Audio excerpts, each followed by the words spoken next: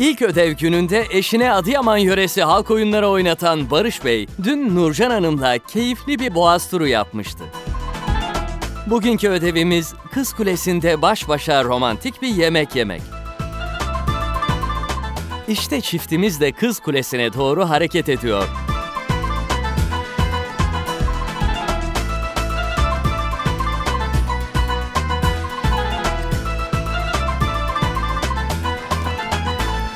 Merhaba.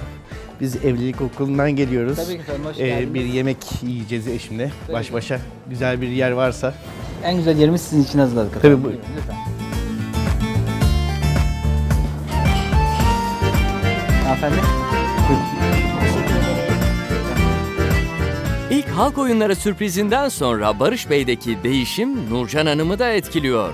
Nereden aklına geldi böyle bir yere gelmek? Gerçekten çok şaşırdım. Hoş bulduk. Hoş bulduk. Tabii. Sağ olun.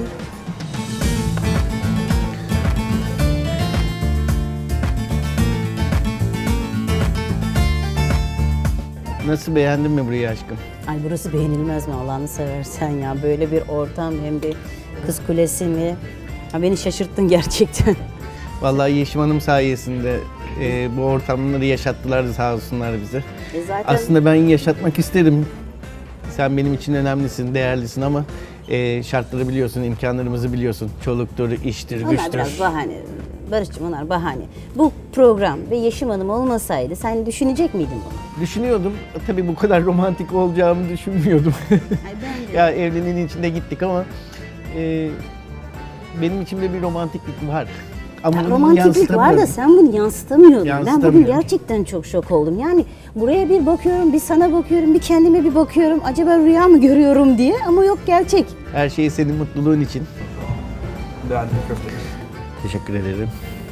Uzun süredir birbirlerine zaman ayıramayan çiftimiz Boğaz'ın tam orta yerinde hem de Kız Kulesi'nde baş başa yemek yiyor. Çok baktın aşkım beğenmedin mi yoksa? Hayır, hiç böyle güzel, özel bir tabak daha önce seninle beraber yemediğim için olabilir galiba. Ama bugün yaptın ya, teşekkür ederim. Sağ olsun. Evlilik okulu sayesinde de olsa bile yaptın. Demek ki içinde varmış senin.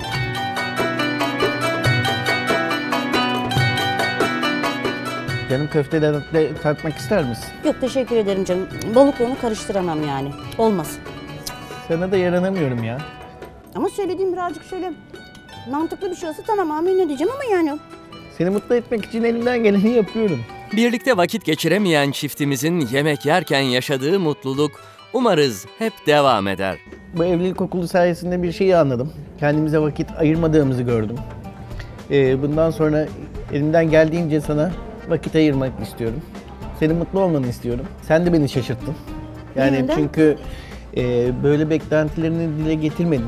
Hayır ben de bunu böyle bir- sık sık sana dile getiriyorum ama sen Ben o sırada beni duymuyorsun. Çevrim dışı oluyorsun galiba. Hani bir tiyatrosu olur, sineması olur, sahil kenarında bir yürüyüş olur. Hani bunlar böyle önemli olan bu. İnsan yaşadığını hissetmesi lazım. Ama her sürekli söylenen hı hı diyorsun. Hı hı bakarız bakarız bakarız.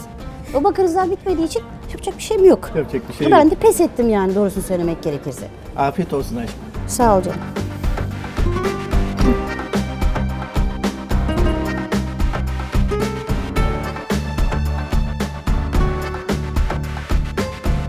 Acaba ekmek alabilir miydik canım be bir zahmet? Şef gelirse bakalım ekmek söyleriz aşkım. Ekmeğini paylaşabilirdim mesela. ben seninle hayatımı paylaşmışım hayatım. E, ekmek sevdiğimi biliyorsun. Bugün de ekmek şeyin tuttu senin. Al hayatım. Ha, bir şey kalmamış ama olsun.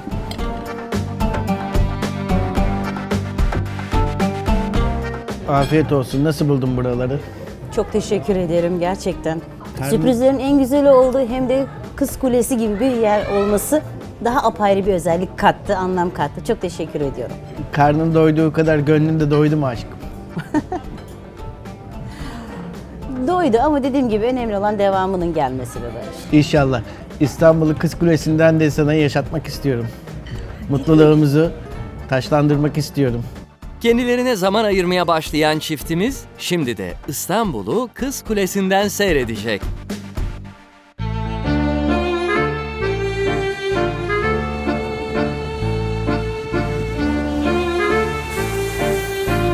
Geç bir.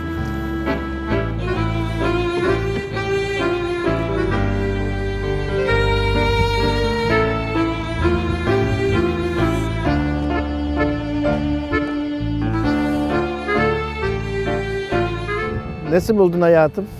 Çok güzel, harika. Bunca yıldır İstanbul'da yaşayıp da ya doğma büyüme ben İstanbulluyum. Buraya gelmediğim için kendime hayıflandım gerçekten. Tekrar teşekkür ederim. Bunu bana fark ettirdiğin için. Çok güzel bir yemek yedik. Yemekten sonra bu kadar diye düşündüm ama eşim devamın olduğunu söyledi. Kulenin tepesine çıktık. Orada manzara da çok harikaydı. Ee, Ben eşimin gerçekten e, romantikliğine vurulmuştum ilk başta ve onun hala onda ölmediğini görünce çok sevindim. Eşiyle birlikte Kız Kulesi'nde baş başa zaman geçiren Barış Bey bir ödevini daha tamamladı. Bakalım bu performansıyla bizden hangi notları alacak?